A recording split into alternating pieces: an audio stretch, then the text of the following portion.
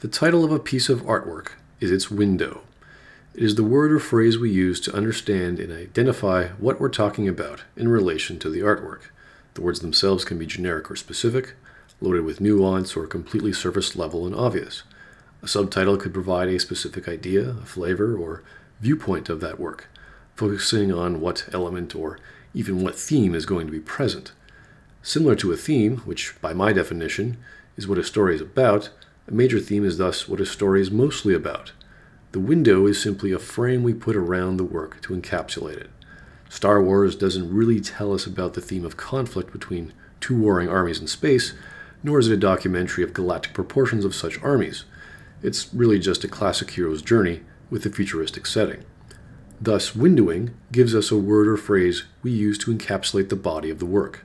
That's called the title. Now, titles can use themes, ideas, philosophies, that's all fine. But if you are going to be that descriptive, it has to be accurate. It has to match the body. This is where the first problem of the game, Torment Tides of Numenera, pops in. If titles are a window, then this is a poor, if not false one. If we look at the first part, the main title, Torment, you expect this to be a story about people in torment, or at least the protagonist, or maybe a place called Torment. In all accounts, you would be wrong. There is no place, no major theme, and no real feeling of torment. The main character you control is not in torment, he does not and cannot torment anyone. He heals extremely fast, and is essentially a newborn character, hence being the last cast-off of the Changing God. The Changing God is not in torment, the other cast-offs are not in torment, everyone else does not seem to be in torment. Only near the end are we told that all other non cast offs, in some sort of subconscious metaphysical way, are in pain as a result of the changing gods and the various cast offs' actions. Trying to show torment is hard. Even Planescape Torment had this problem.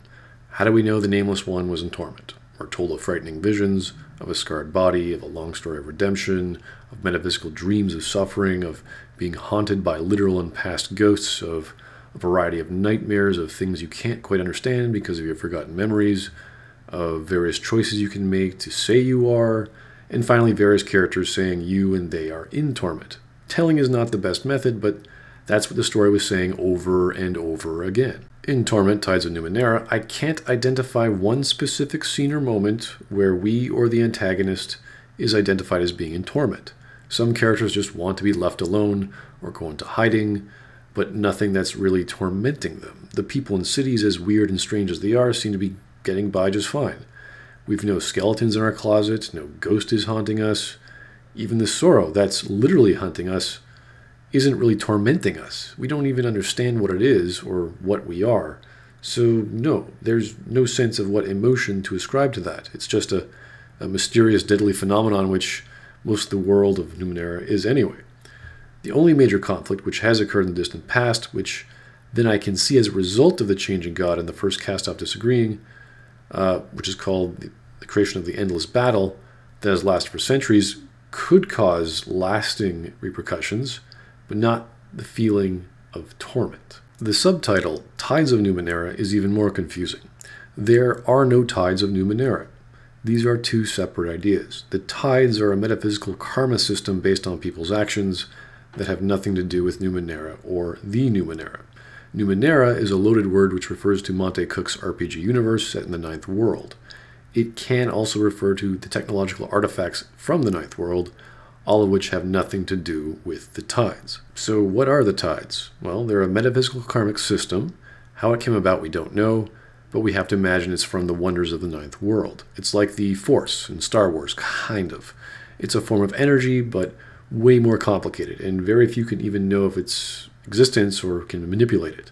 The tides cause the cast offs to be somewhat immortal, causing their bodies to heal amazingly. Some can manipulate it to be used as a weapon, travel between dimensions, and other such strange magical things. In the game, our affinity to the tides shift based on our choices.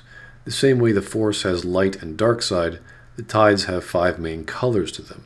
Your choices represents what two major tides you bend toward, and thus your ranking in that tide goes up.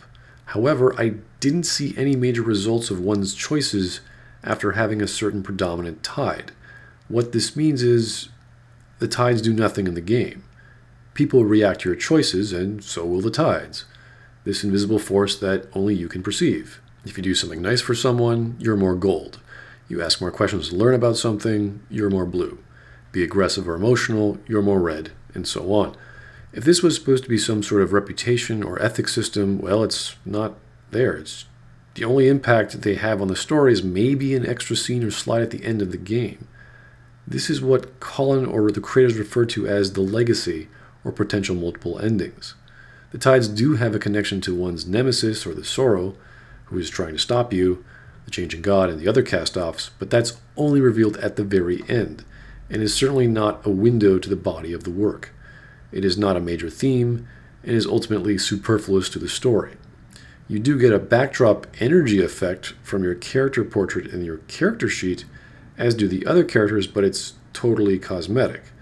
This is rather egregious that you can remove all talk and mysticism and ethics of the tides, and the story would be just fine. So, two out of three words don't really work in this title.